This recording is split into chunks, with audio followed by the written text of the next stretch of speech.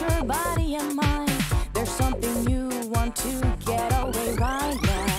I feel this is how.